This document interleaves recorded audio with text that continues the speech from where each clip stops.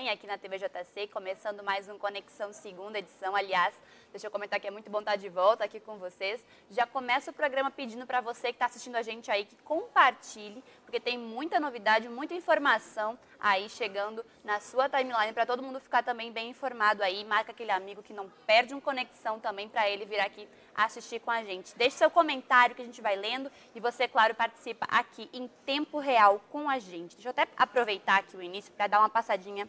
Muita gente por aqui, Josenilda Melo chegando por aqui, Lenice Costa, Luzia Gomes, Ana Lúcia Duarte, Joselma Pereira também, Mazé Farias, quem mais? Creuza de Melo, Walter Gomes chegando por aqui, Cristóvão Lima, Euzenira Lima já pergunta sobre greve, a greve dos rodoviários. A gente vai falar sobre isso já já. Não vai ter greve, tá? Já para adiantar, deixar todo mundo tranquilo. Lázaro Lins falando com a gente também. Sérgio Lopes. Continuem com a gente compartilhando o programa e também deixando aqui o seu recado que a gente vai lendo ao longo da transmissão. Como já foi perguntado aqui nos comentários, a gente abre o programa falando disso. Hoje teve Assembleia dos Rodoviários e eles aceitaram a proposta do patronato e estão descartando greve. A gente tem matéria aí no site da TV Jornal, pedi para Vicky botar na tela para vocês com todos os detalhes. Essa assembleia ela foi, aconteceu na manhã dessa terça-feira, na sede do sindicato que fica aqui, mesmo no bairro de Santo Amaro, na área central do Recife. E aí a categoria acabou aprovando, como vocês estão vendo aí na as plaquinhas de sim, né? O, a proposta da classe patronal. E aí agora eles têm 4% de reajuste salarial e o aumento do vale de alimentação para 250 reais. Eles recebiam 230 reais, agora passam a receber 250 reais. Esse reajuste é inferior, tá, gente, ao que eles chegaram lá propondo o sindicato dos rodoviários. Eles queriam 4,5% de reajuste salarial e mais 11% de aumento no ticket refeição. Não conseguiram, conseguiram 4% no salário e cerca de 8,7% aí no ticket, que sobe, como eu disse, de 230 para 250 reais. Nossa repórter Roberta Soares, que acompanha a mobilidade aqui no JC, esteve lá acompanhando essa assembleia, ouviu aí as pessoas envolvidas, tanto do sindicato quanto da oposição que existe da, categoria, e a gente traz para vocês as falas do pessoal. Vamos começar com o Benilson Custódio, que é aí o líder do sindicato, o que vai passar para vocês agora. A oposição diz que vocês cederam muito. O que é que o senhor tem a dizer sobre isso? A gente tem a responder com ele através das consultas que fizemos dentro das garagens. Que quem decide tudo aqui, antes de a gente trazer os assuntos aqui à pauta, a gente já, desde sexta-feira, fomos numa parte das garagens e ontem eu mesmo vou pessoalmente conversar com os trabalhadores e mostrar a ele até o que a gente estava deixando de ganhar. Hoje, os trabalhadores estão deixando de receber nada mais, nada menos, só no ticket de alimentação, 120 reais por mês. Isso porque em 2015 tinha-se uma proposta de 27,5%, mas eles optaram por uma greve, aonde o ticket já passava para 261. De 261 aí veio 2016, que foi 20%. Esse a gente negociamos na mesa, inclusive ganhando o ticket nas férias. Aí veio 2017, o ticket já era para estar é, 313 com um percentual de 11%, é esse que está em Brasília para ser julgado, que na verdade a justiça aqui deu 11, mas o patrão ofereceu 11 é, e a justiça deu 8, então já era para estar tá em 348. Então, com esse percentual de hoje, 8,8, nós já estávamos com o ticket de alimentação 378. Então, a oposição, ela quer dizer o quê? O trabalhador não está querendo que ninguém, que não seja os próprios trabalhadores que decidam o seu rumo a oposição não ficou feliz com esse resultado. Eles que queriam um aumento percentual do salário maior do que o sindicato chegou na mesa lá propondo para o patronato. A gente ouviu também, claro, a oposição e a gente tem aí uma entrevista com o Aldo Lima, que é o líder da oposição aí dos rodoviários, falando um pouquinho sobre essa situação. O que é que achou da decisão da categoria agora? Então, a decisão de aprovar a pauta que, que está posta é, traz nela um retrocesso aos trabalhadores parcial. Em relação às cláusulas econômicas, nós achamos que poderia ter avançado mais, não é o ideal aos trabalhadores. No entanto, o que foi aprovado aqui foi a volta dos dois rolos, certo? E diminuiu de uma hora para 30 minutos o intervalo de jornada dos trabalhadores, que na lei diz que é de uma hora. E como tinha sido aprovado em 2016 a compensação da jornada de trabalho, os trabalhadores hoje eles vão fazer horas extras a partir dos seus rolos e a patronal vai poder compensar isso em qualquer momento com folga e coisa dessa natureza, para que os trabalhadores não recebam as horas trabalhadas.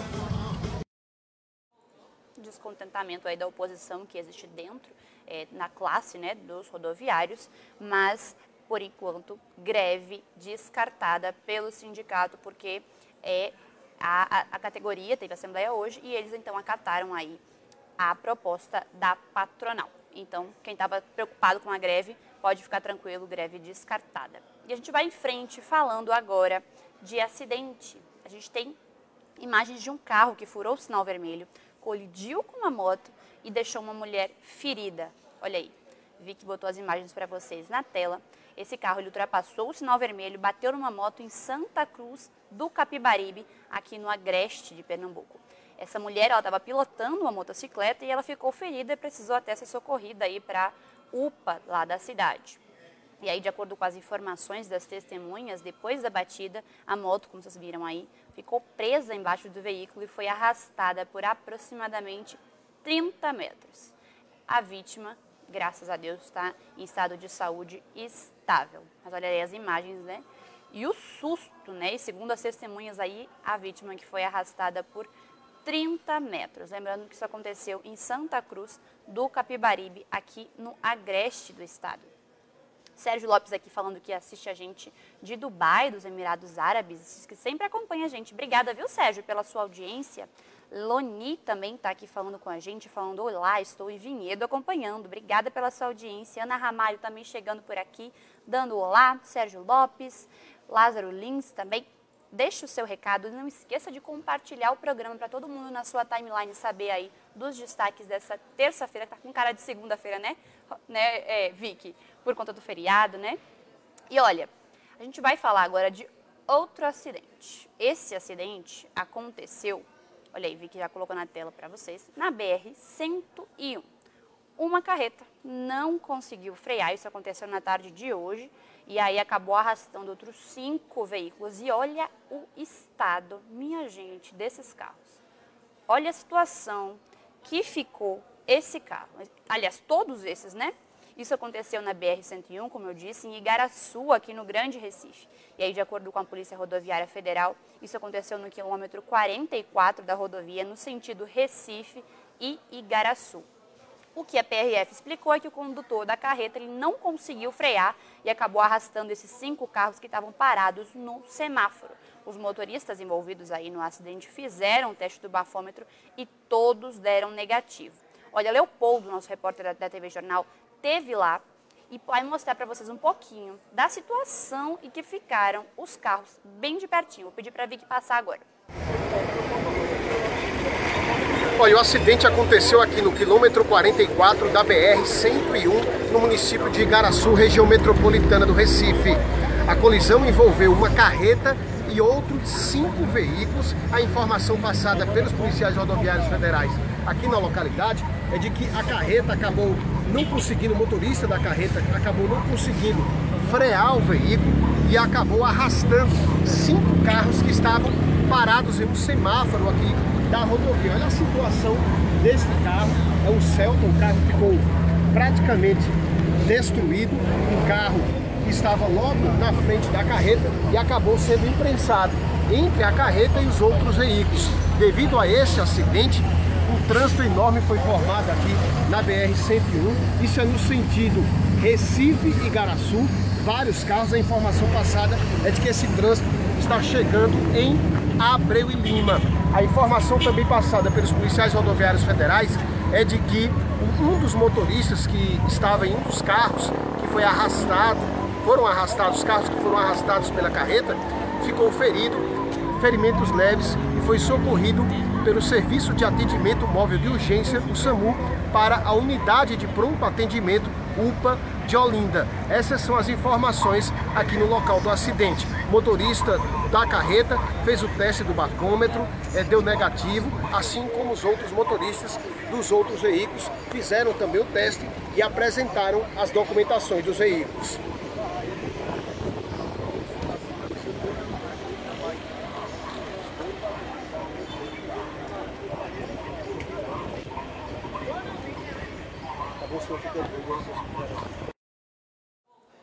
Olha a situação desses carros, né? Poderia ter terminado em tragédia, a gente sabe que não seria a primeira vez, acidentes assim acontecem, infelizmente, com muita frequência. Leila Cavalcante, obrigada, Leila, querida. Sempre tem muito carinho pela gente, dizendo que estava com saudade de mim, obrigada, e dando um feliz retorno. Sérgio Lopes está respondendo a Evangelina, que tinha falado antes que todo sindicato é sempre a favor do patrão, falando sobre a situação aí do Sindicato dos Rodoviários, que acabou aceitando a oferta, eh, a oferta não, desculpa, a proposta da patronal, né? De reajuste salarial. E o Sérgio rebate aqui dizendo que foi sindicalista também que não confere aí essa informação. Ana Ramalho chegando também aqui também dando oi para Leila. Continuem comentando, continuem compartilhando, que a gente vai falar eh, agora de um assunto que repercutiu muito é, nas redes sociais, enfim, nos nossos portais aqui do Sistema Jornal do Comércio, que foi o acidente que envolveu, é o outro, Vicky, o que envolveu o filho de Mendonça Filho, deputado federal. A gente tem um VT, né, Vicky, para poder colocar o pessoal aí a par do que foi que aconteceu. Esse acidente aconteceu é, na BR-232 e a gente tem atualização sobre esse caso, mas eu queria antes pedir para a Vicky botar o VT para vocês entenderem como foi que esse acidente aconteceu teve morto, teve ferido também nesse acidente. Vi que tá com o vídeo aí? Pronto, vamos passar para vocês agora. Estava o SAMU e o Corpo de Bombeiro fazendo pré-atendimento e já constatado é, dois óbitos, né? O motorista e a pessoa que vinha atrás dele. E aí, como é que pode ter acontecido esse acidente? Ele tem, uma, tem próximo à curva, ele perdeu o controle né? e capotou logo em seguida, sendo arremessado né, por conta da velocidade a uns 30 metros da rodovia. E aí tinha uma pedra também. Foi. Logo quando ele perdeu o controle, ele colidiu uma pedra, ainda bateu num poste e ainda foi, ainda seguiu é, com o mato, né?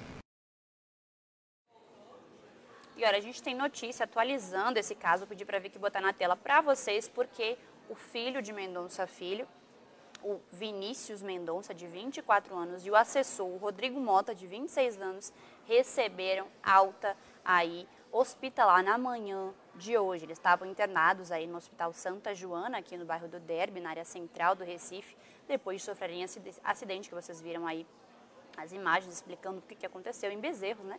Aqui no Agreste, na noite de segunda-feira. Lembrando, o motorista Edson de Oliveira Santos e o advogado Rodrigo Albuquerque não resistiram aos ferimentos e faleceram. O sepultamento aí do Rodrigo está marcado para foi aconteceu às, às 16 horas, às 4 da tarde, essa terça-feira, lá em Gravatá. Já o Edson de Oliveira, que é o motorista, ele vai ser velado na quarta-feira, amanhã, no cemitério Parque das Flores, que fica em Tergipió, aqui na zona oeste do Recife.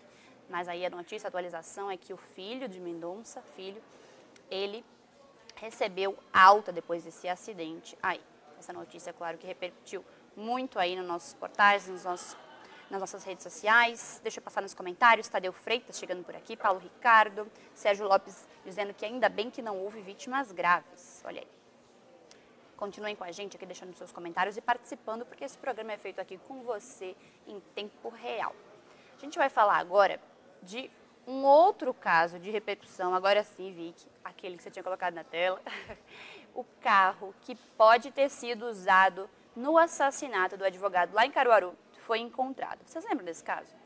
Vocês lembram desse advogado que foi assassinado na frente da filhinha de um ano e seis meses na porta da casa da ex-sogra lá em Caruaru? Isso aconteceu na semana passada, na quinta-feira passada, aqui em Caruaru, no agreste do estado. E é, a polícia desde então tem aí trabalhado para encontrar esse suspeito, tem imagem dele aí também, mas a novidade é que esse carro aí que estão vendo nas imagens, possivelmente é o carro utilizado pelos suspeitos. Olha aí as imagens dele chegando em casa com a bebê, na casa da ex-sogra, né? Ele que morava no Recife. E aí teria de pegar a filhinha para ir no shopping passear com essa moça que está aí com ele, que é parente da ex-mulher dele e que cuidava da bebê. E aí, o momento em que ele entrega a bebê para a moça e aí ele é executado com cinco tiros. E a polícia também divulgou essas imagens que estão vendo agora, que é de uma outra investida com o mesmo carro. Então, esses suspeitos aí já são suspeitos de praticarem outros crimes aí na região. A gente tem um VT da TV Jornal explicando aí essa situação desse carro que foi encontrado, esse carro que foi encontrado é, em Cupira, a 40 quilômetros de Caruaru, carbonizado, e a TV Jornal traz os detalhes para vocês. O veículo foi incendiado e abandonado em uma estrada de barro no município de Cupira, a 40 quilômetros de Caruaru. Peritos estiveram no local em busca de vestígios que ajudem na identificação dos suspeitos e levaram o veículo para o depósito da Polícia Civil em Caruaru, onde hoje pela manhã o carro foi periciado. André Ambrosio, de 46 anos, foi morto com cinco tiros na cabeça na tarde da última quinta-feira, na frente da casa da ex-sogra. Ele havia saído do Recife para ver a filha e voltava do passeio quando foi abordado. Imagens de câmeras de segurança mostram que o mesmo carro usado na fuga pelo assassino, foi flagrado fazendo outros assaltos no mesmo bairro. O retrato falado do assassino foi divulgado pela polícia. Quem tiver alguma informação pode ligar direto para a delegacia no número 81 99488 7042 ou para o Disque Denúncia. O número na região metropolitana é o 3421 9595 e para o interior é 81 3719 4545 uma atualização nesse caso, esse crime que chocou muita gente, inclusive tem gente aqui nos comentários falando, Lázaro é quem fala aqui, que é a morte do advogado foi impressionante, que é de uma grande frieza. Edione Oliveira chegando por aqui, também impressionada, mandando aqui é, é, suas condolências, né? Leila Cavalcante também falando que parecia encomenda. E o Paulo está falando que não sabe o que uma pessoa dessa tem no coração, de não se sensibilizar nem com uma criança. Olha aí. Lembrando que ele foi, olha aí, nas imagens que vocês podem ver agora, ele foi assassinado na frente da filhinha de um ano e seis meses e da moça, que é parente da mãe, da ex-mulher dele, né, da mãe da bebê, que cuidava da menina. Eles tinham ido passar a tarde no shopping e aí esse carro ficou esperando eles na rua onde o crime aconteceu e aí, quando eles chegaram, ele desceu do carro com a bebê, teve que entregar a bebê para a moça que cuidava da criança e aí foi executado ali na calçada mesmo, isso por volta das 5 da tarde, nem 5 da tarde era, eram 15 para 5 da tarde. E isso aconteceu. Ah, e Leila Cavalcante também falando a verdade, Paulo, que falta Deus no coração das pessoas. E de Marclay Lima aqui por aqui também dizendo um bom pôr do sol para todos. Hoje, terça-feira, 17 de julho de 2018. Continuem deixando seus comentários, compartilhando aqui o programa. E eu vou pedir para a Vicky botar na, na, na, tela a matéria que tem o um retrato falado daí desse suspeito, para que fique aí o aviso e também que vocês compartilhem, porque, claro, quanto mais pessoas esse retrato falado alcançar, maiores são as chances de se encontrar o suspeito de ter cometido esse crime bárbaro, né, de executar o advogado o André Ambrosio, na frente da própria filhinha de um ano e seis meses. Ele que também tem uma filha de 18 anos, também deixou essas duas filhas, criou, muito querido pela família, criou aí também, ajudou a criar é, os sobrinhos. Então, uma pessoa muito querida, uma morte que tem sido muito sentida pela família. E é, a gente tem os telefones aí nessa matéria também. Até eu pedi para Vicky, tu pode deixar fixada nos comentários, Vicky? Vou pedir para Vicky botar nos comentários, porque se você sabe alguma coisa sobre esse suspeito, ou conhece alguém que pode saber, entre em contato com a polícia, tem todos os contatos aí, inclusive de WhatsApp, para você fazer a denúncia e poder ajudar a polícia a chegar até esse suspeito. Esse retrato falado aí foi conseguido porque é, ele desceu, como vocês viram aí nas imagens, de cara limpa. Então, a moça, a sobrevivente aí, a principal testemunha conseguiu descrever ele para a polícia, então ajudou muito o trabalho da polícia porque eles conseguiram rápido ter esse retrato falado. Então, compartilhe o programa, que é para as pessoas poderem ter acesso e esse, esse retrato falado poder circular aí pelas redes sociais, que a gente sabe que são uma arma poderosa para ajudar o trabalho da polícia, tá certo? O Vicky já botou aí nos comentários, né, Vicky? Fixado. Então, compartilhe o programa. E não esqueça de ajudar também, né? Se você tem alguma informação que pode ajudar a polícia aí. Já está nos comentários que vi que é providência. Deixa eu ver quem mais está comentando por aqui. Ana Ramalho dizendo que agradece a Deus que esse assassino não executou a criança e a babá. A babá que a gente estava chamando de babá no início, mas ela não é babá, ela é parente da, da mãe e aí ficava com a criança quando precisava, né? Deixa eu ver quem mais está falando aqui com a gente. Sérgio Lopes diz que divulgou na web que espera que esse assassino seja logo preso, mas dizendo que foi encomenda e que não tem dúvida. Olha, tem várias linhas de investigação, já tem uma matéria aí, Vicky, que eu coloquei falando sobre isso. Tem várias linhas de investigação sobre esse caso. A única coisa que a polícia descarta até agora é latrocínio, porque não houve, é, não, o, o, suspeito não levou nenhum pertence né, desse, dessa vítima, desse advogado, do André Ambrósio, não levou nada dele. Então, o que a polícia consegue descartar agora, nesse momento, é a questão do latrocínio, né, do roubo seguido de morte. Não existiu roubo nesse caso. Inclusive, ele estava com uma quantia de mil reais aí no momento do crime, que não foi levado, nem o carro foi levado pelos suspeitos, o carro blindado, né? A gente é, faz também essa, essa ressalva de que o carro era blindado, por isso ele teria esperado aí o advogado descer do carro para poder efetuar os disparos. Então, até o momento tem várias linhas de investigação, pode ter tido é, relação com o fato dele ser advogado, trabalhar na área trabalhista, pode ter a ver com a,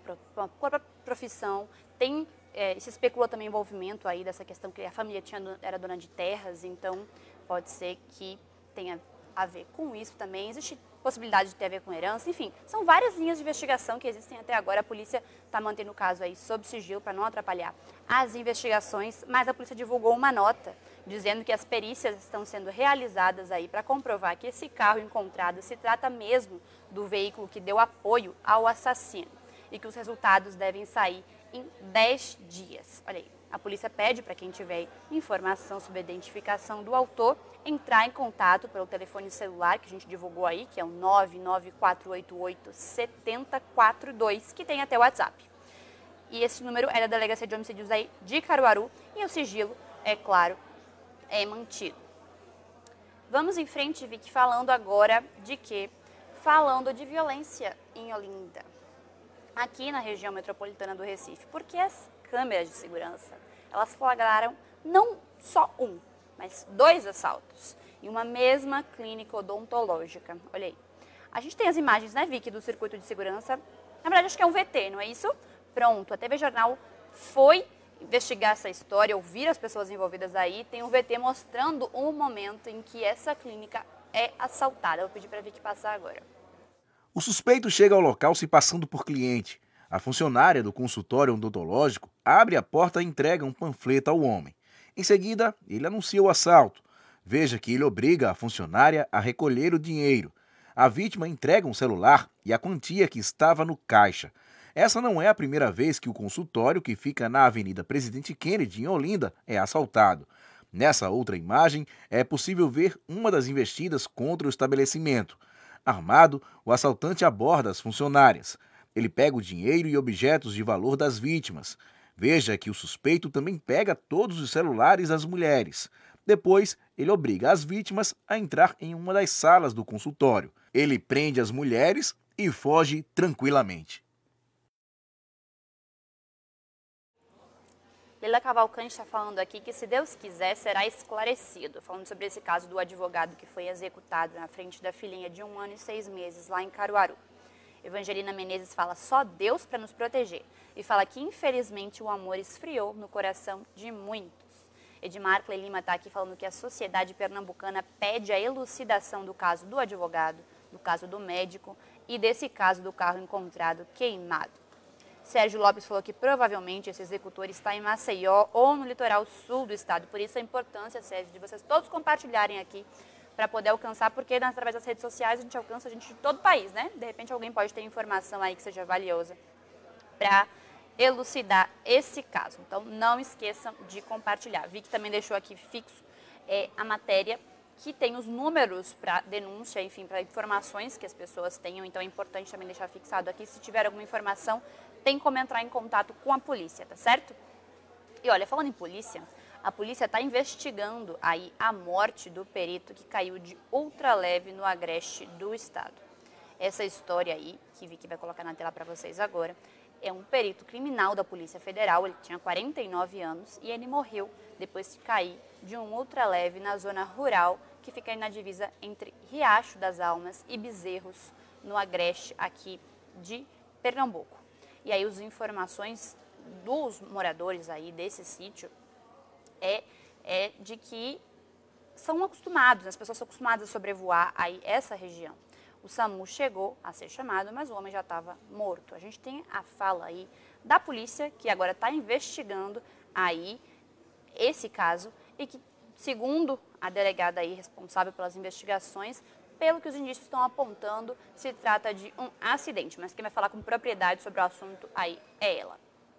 O acidente que teve como vítima o perito da Polícia Federal, André Gustavo de Figueiredo Melo, já começou a ser investigado pela Polícia Civil.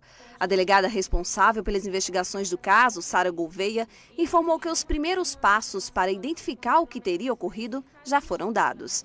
Até agora, né, pelo que a gente levantou, foi feita perícia é, no local do, do acidente e tudo indica realmente que foi um acidente causado provavelmente por algum defeito no equipamento. O acidente aconteceu ontem à tarde no sítio Torrões, zona rural de Bezerros. O perito de 49 anos sobrevoava a área de um terreno particular em ultraleve quando houve a queda. Escutei um barulho diferente e depois o estrondo quando ele caiu, né? A vítima era do Recife e, de acordo com este caseiro do terreno que abrigava o hangar onde André e os amigos guardavam os equipamentos de voo, ele sempre praticava o voo livre. Ontem, ele teria vindo aproveitar o feriado com os amigos. O rapazinho foi para Santa Cruz, chegaram, almoçaram e chegou, foi a voar de novo. Aí aconteceu o acidente. Tinham de Santa Cruz já hoje, já. A voando. Aí na hora de chegar, deixa almoçar aí, aí chegou, caiu aqui. O velório do perito ocorreu hoje pela manhã no cemitério Morada da Paz, em Paulista. Já o enterro está previsto para as 5 horas da tarde. história triste aí que vocês acompanharam aqui através da, das nossas nossos veículos aqui do Sistema Jornal de Comércio. Deixa eu ver aqui gente comentando. É, Leila Cavalcante falando que é muito triste. Lázaro Lins dizendo que quase todos os dias sempre compartilha na linha do tempo para que outras pessoas acompanhem. Obrigada, viu, Lázaro? E não só assiste a gente, como também compartilha. Faça como Lázaro, viu? Maria Betânia dizendo que Deus é fiel e que logo, logo esse rapaz aí vai estar tá atrás das grades. Deixa eu ver quem mais. Paulo também está falando aqui que desvendar esse caso do advogado é fácil demais. Que quer ver desvendar o caso da menina Beatriz morta em Petrolina. Olha aí. É verdade, né? Esse caso aí que toda a sociedade espera uma resposta, que já completou aí mais de dois anos sem solução, sem resposta nenhuma do caso Beatriz. Evangelina Menezes perguntando se tem alguma novidade sobre o caso da morte do, do doutor Denilson, o cardiologista, né, que foi assassinado lá em Aldeia. Por enquanto, nenhuma novidade. Mas fica ligadinha aqui com a gente nas nossos veículos, em todas as plataformas dos nossos veículos, tanto da TV Jornal, quanto da Rádio Jornal, como da TV Jornal, como do Portal N10, que tem novidade chegando para vocês sempre. Vamos em frente falando do que? Falando é dos jovens que foram mortos em Enseada dos Corais. Vi que já colocou na tela para vocês. Deixa eu explicar o que foi que aconteceu. A gente tem um VT explicando, mas vou adiantar. Dois homens, isso até ontem, tá? Foram assassinados a tiros na comunidade do Pantanal, que fica em Enseada dos Corais, no Cabo de Santo Agostinho, região metropolitana aqui do Recife. As vítimas, o que a gente sabe por, pela polícia, é que eles estavam conversando na rua quando homens armados chegaram, se aproximaram e dispararam várias vezes contra eles. Dois dos rapazes morreram na hora. Eles se chamam Everson Santos de Oliveira, de 21 anos, e ele, esse rapaz aí levou mais de 20 tiros. A outra vítima que morreu na hora, ela tinha aproximadamente 20 anos. E um adolescente de 17 anos, ele estava com os outros rapazes e acabou baleado na cabeça e socorrido para o Hospital da Restauração. A gente tem um VT que explica o que foi que aconteceu, mostra o local do crime. Tem as imagens aí, Vicky, a mão? Vamos pedir para Vicky passar agora, então. Na Vila Sotava, em Jaboatão dos Guararapes, o crime aconteceu na Rua do Futuro. Por volta das 6 horas da tarde, pelo menos três bandidos fortemente armados arrombaram a porta desta casa e lá dentro anunciaram um assalto. De acordo com a polícia, no momento da investida, tinham quatro pessoas da mesma família dentro do imóvel: um casal e dois filhos de 8 e 9 anos. Os bandidos chegaram a disparar várias vezes dentro da casa. Joab José da Silva, de 32 anos, que trabalhava vendendo codornas, foi morto com vários tiros. Uma faca foi encontrada cravada no peito dele. A mulher dele, a dona de casa, Michele Gomes dos Santos, de 28 anos, foi morta com um tiro na cabeça. Segundo a polícia, os assassinos chegaram a roubar duas televisões, que foram encontradas no matagal por cachorros da comunidade. Os aparelhos de televisão foram apreendidos pela polícia e trazidos aqui para o Departamento de Homicídios e Proteção à Pessoa, o DHPP. Eles devem passar por perícia. O objetivo é tentar encontrar impressões digitais para identificar os suspeitos. A principal linha de investigação até o momento é que o casal foi vítima de latrocínio, roubo seguido de morte. Os filhos do casal que presenciaram o crime estão sob os cuidados da família. Até agora, ninguém foi preso. O outro duplo homicídio foi na comunidade do Pantanal, em Enseada dos Corais, no Cabo de Santo Agostinho. As vítimas estavam conversando na rua quando homens armados se aproximaram e dispararam várias vezes. Dois rapazes morreram na hora. O corpo de Everson Santos de Oliveira, de 21 anos, tinha mais de 20 perfurações. A outra vítima, que não foi identificada, de aproximadamente 20 anos, foi morta com nove tiros. Um adolescente de 17 anos, que estava com os outros dois rapazes, foi baleado na cabeça e socorrido para o Hospital da Restauração. Segundo a polícia, no local ninguém quis contribuir com as investigações. É, gente, esse VT ele foi gravado com as informações de ontem. A gente tem uma atualização porque o adolescente que foi socorrido para o Hospital da Restauração, ele faleceu. A gente tem notícias sobre isso aí no JC Online. Ele, que se chama é, François Santos de Oliveira, de 17 anos, deu entrada no Hospital da Restauração aí, depois que isso aconteceu. Ele deu entrada meia-noite e 35, segundo aí a unidade, com um ferimento na cabeça causado por um tiro e faleceu por volta das 7 horas da manhã. Então aí o terceiro, a terceira vítima, né, que teria ficado ferida aí, é, também acabou falecendo. Então, esse caso aí já são três mortes, três vítimas fatais aí desse caso. Leila Cavalcante dizendo que tristeza, imagina a situação dos filhos, misericórdia. Paulo Ricardo também falando que Enseada dos Corais está um caso sério. Gente, continue aqui deixando seus comentários, compartilhando o programa. A gente vai falar agora de uma ação que prendeu cinco pessoas. Olha a matéria que a gente tem no JC Online é por receptação de fio de cobre no Recife. Mas a gente olha o nível que a coisa chega, né, Vicky? É absurdo, né? O fio de cobre que a gente vê aí tanto poste sem iluminação à noite, né? E que inclusive é um convite para a ação dos bandidos essa falta de iluminação. E porque os fios têm sido roubados e aí a, o Estado conseguiu chegar até cinco pessoas que estariam aí fazendo receptação desses fios de cobre. Deixa eu explicar. Cinco pessoas foram presas, então, por conta de suspeita de furto de energia e receptação de fios de cobre roubado dos postos de propriedade da CELP. A ação, essa aí que vocês estão vendo na imagem, foi coordenada pela Secretaria de Justiça e Direitos Humanos e do PROCON de Pernambuco. Começou hoje e já inspecionou 12 ferros velhos dos bairros de Afogados e São José, aqui no Recife, onde foram encontradas aí as irregularidades. Essas buscas aí iniciaram após a, ANA, a Agência Nacional de Telecomunicações, a Anatel, né, emitir um comunicado de que os clientes das empresas de telefonia enviaram inúmeras denúncias reclamando da prestação dos serviços e que a causa principal é essa prática aí de roubar fios de cobre. Olha aí.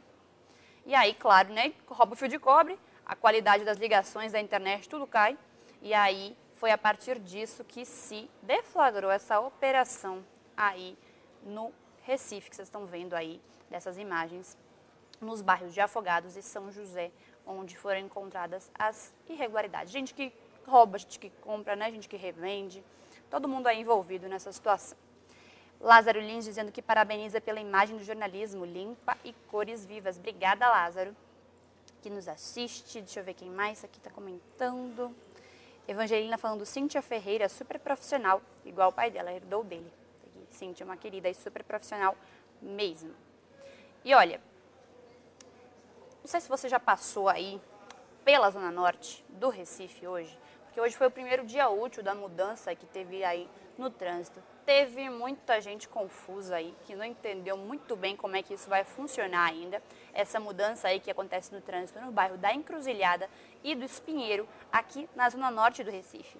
A TV Jornal foi até lá acompanhar, ouvir as pessoas, né, para saber o que, que elas acham aí desse primeiro dia útil, que é quando a gente consegue ver de verdade como é que vai funcionar, né? O maior de fluxo de carros, de pessoas pelas ruas. Vamos ver o que, que o pessoal achou aí nas ruas dessa mudança? Motoristas, passageiros dos ônibus e pedestres ainda estão se acostumando à mudança no trânsito no bairro da Encruzilhada. Estou meio perdida, realmente, e estou até um pouco admirado o que é que está acontecendo. Para esclarecer a população, orientadores da CTTU e do Grande Recife Consórcio distribuem panfletos com detalhes das mudanças no fluxo de veículos e das paradas dos coletivos.